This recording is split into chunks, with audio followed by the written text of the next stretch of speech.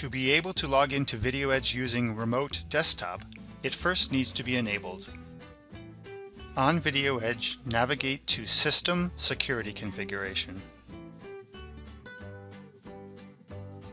Select the Remote Access tab.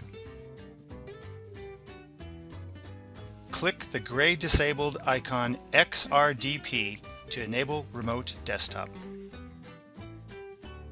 Enter the admin password and click OK. Remote Desktop is now enabled.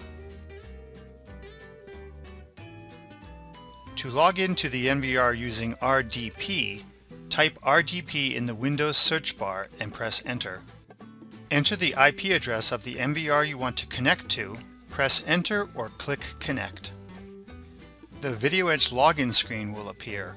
Enter the login details and click OK to log in. When using RDP Remote Desktop, it is important to log out correctly. Failure to do so will leave a high CPU process running on the VideoEdge which will affect performance.